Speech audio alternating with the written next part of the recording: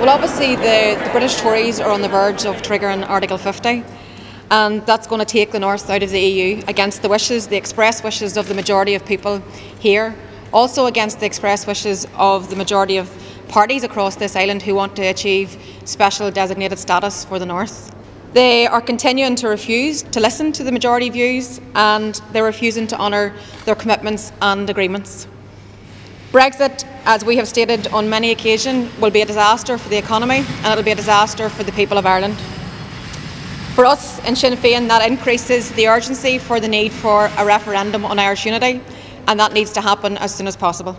Calling for a unity referendum is not a new call from Sinn Féin, it's something that we have been calling for and indeed insisted on in the Good Friday Agreement. So it's important now that, um, on the back of Brexit and the implications that they're going to be for the people on this island, that we move towards the unity referendum as soon as possible.